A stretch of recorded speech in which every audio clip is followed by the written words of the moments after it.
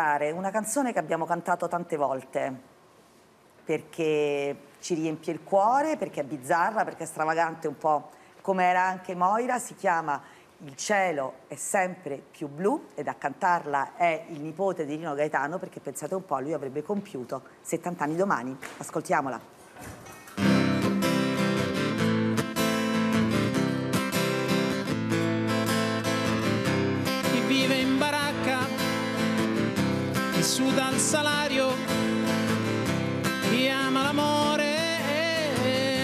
I sogni di gloria, chi ruba pensioni, chi ha scarsa memoria, chi ama la zia, chi va a porta pia, chi trova scontato, chi come ha trovato,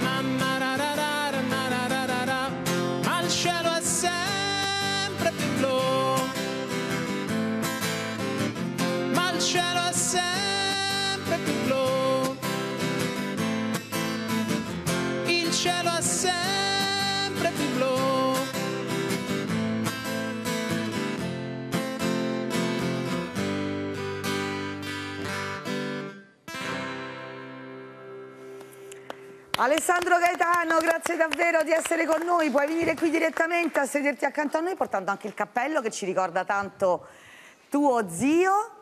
Grazie, e, grazie. Guarda, cantavamo senza... Ritegno. Senza rite, brava, hai usato, io ho dormito poco stanotte perché sono un po' fasica, cioè mi mancano un po' le parole, però va bene, sì, senza ritegno.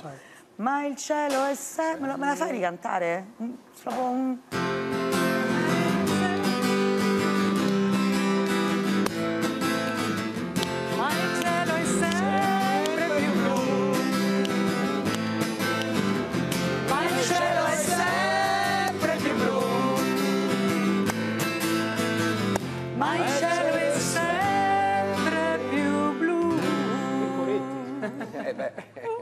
Rino Gaetano, lo vediamo raccontato da Carina Marino.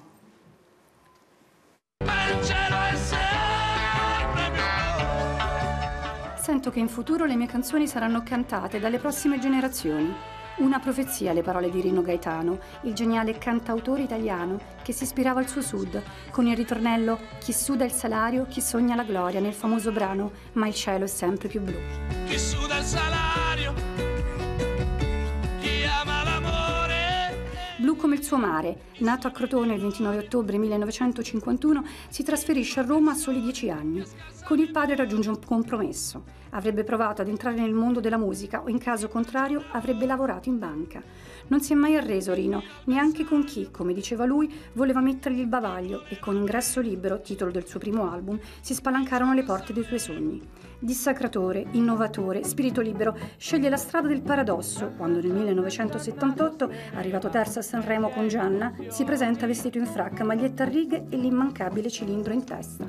Gianna, Gianna, Gianna prometteva e fiumi. Un artista che aveva il coraggio delle proprie idee, come quando nel brano Non te più fece nomi e cognomi in un tempo in cui fare nome e cognome era molto difficile, ma per Rino, che amava provocare, era la canzone più leggera che avesse mai fatto.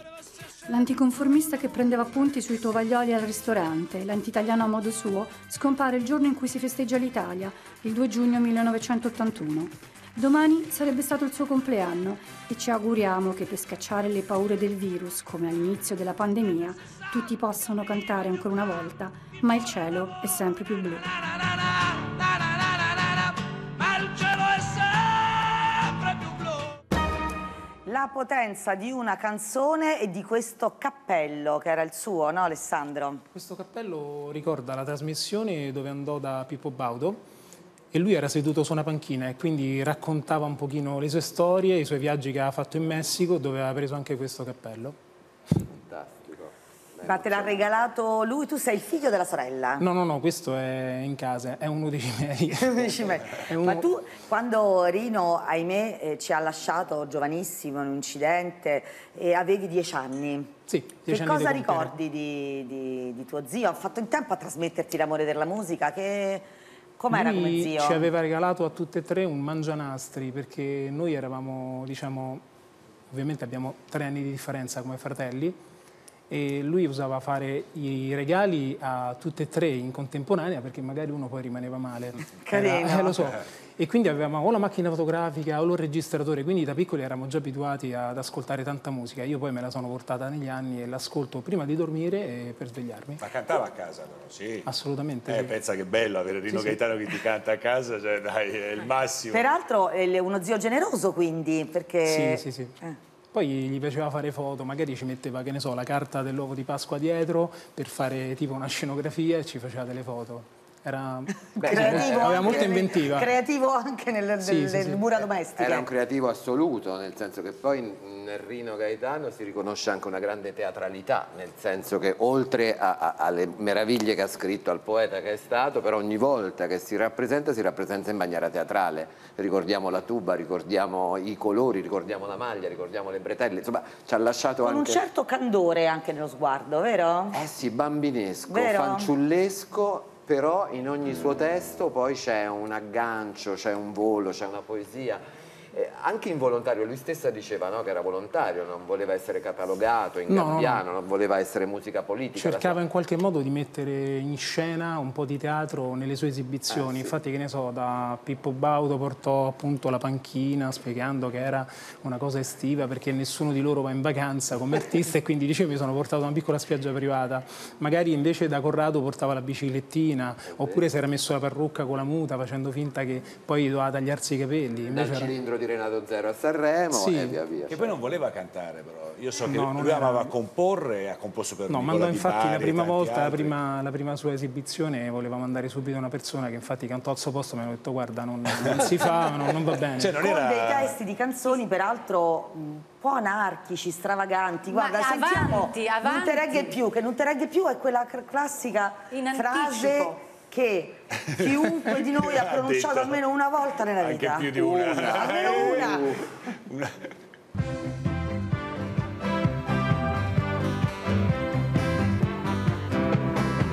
E ala Non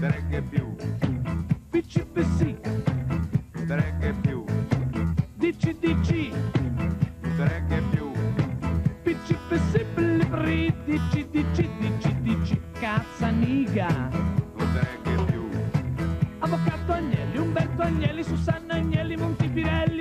Causio che passa Tardelli, Musiele Antonioni, Zaccarelli. Regge più.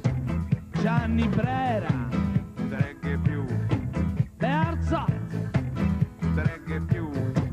Monzo Panatta, Rivera D'Ambrosio, Laudateni, Maurizio Costanzo, Mike Buongiorno, Villaggio Raffa Guccini. Onorevole Eccellenza, Cavaliere Senatore, Nobiltà Eminenza, Monsignore Vostia Sherry, Mon Amour.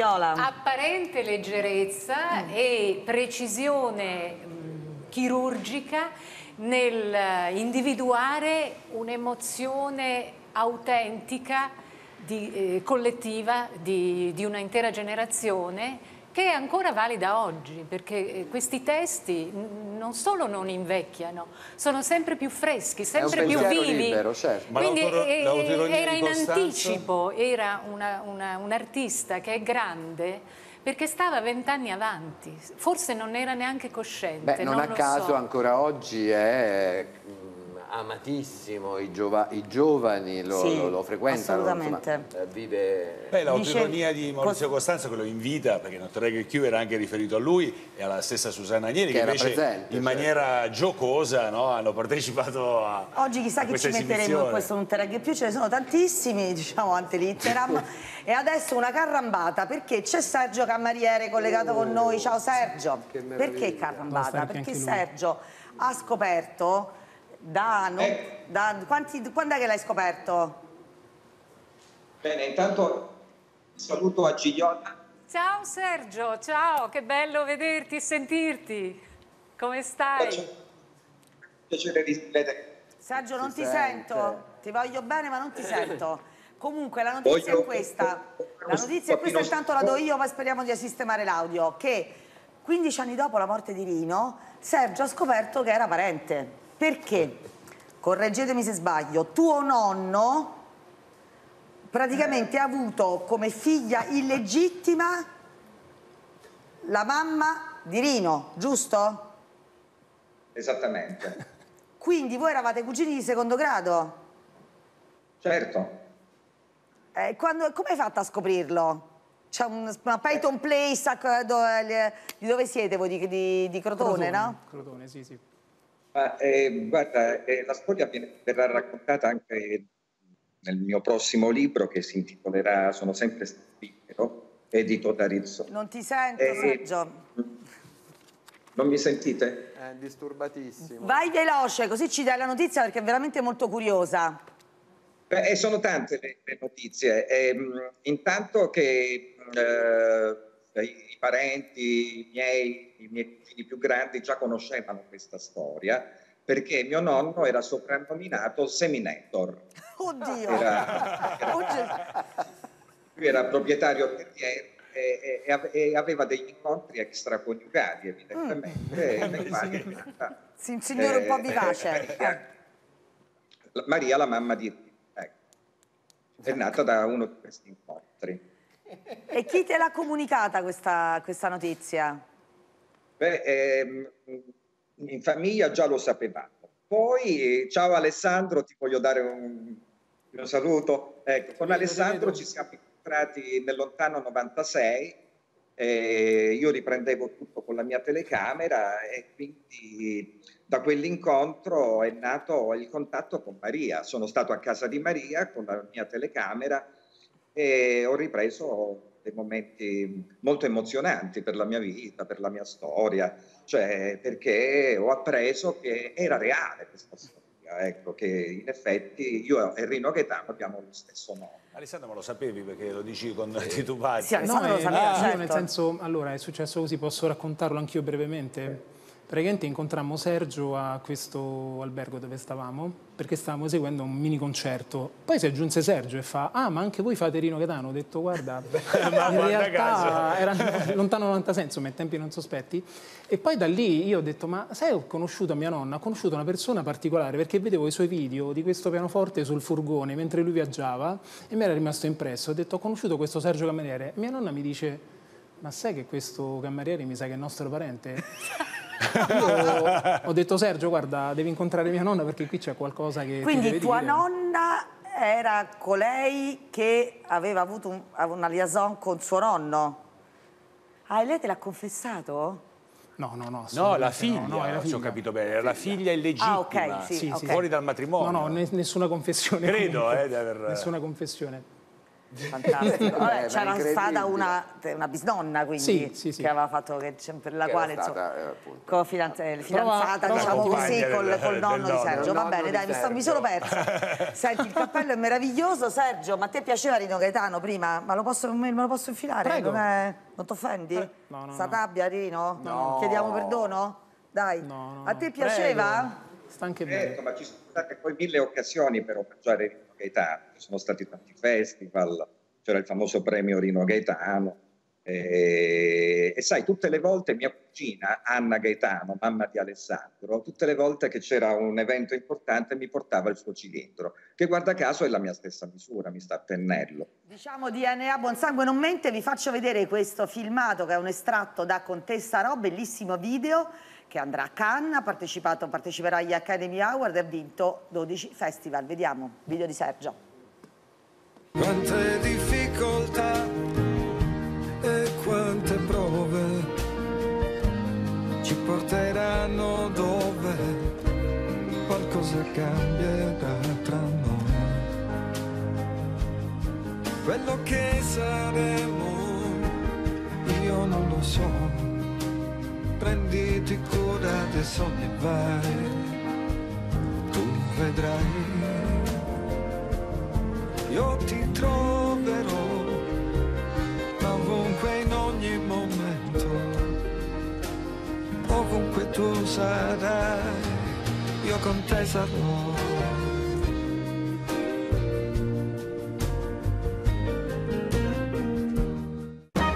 Grazie Sergio, video bellissimo e musica come sempre, quelle di Sergio, davvero toccante, davvero emozionante. Mi Ci- unisco. Vero? Bello, bello. Sì, adoro. Ci uniamo tutti. Alessandro, dai, cantiamo insieme un'ultimissima cosa. Io non io non mi tolgo più il cappello, ovviamente, andiamo avanti.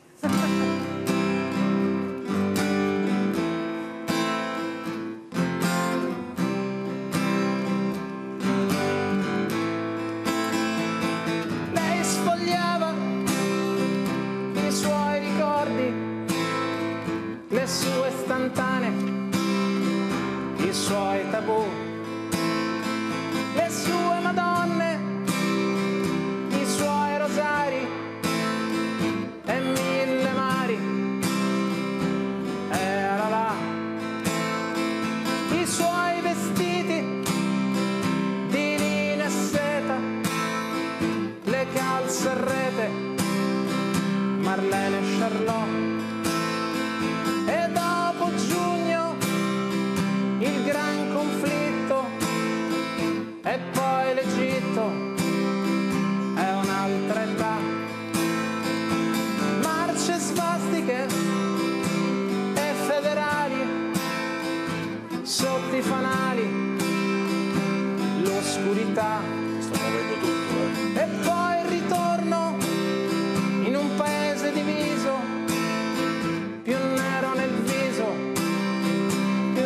rosso d'amore.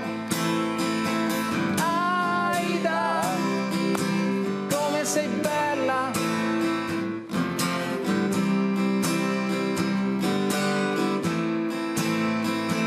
Aida, come sei bella.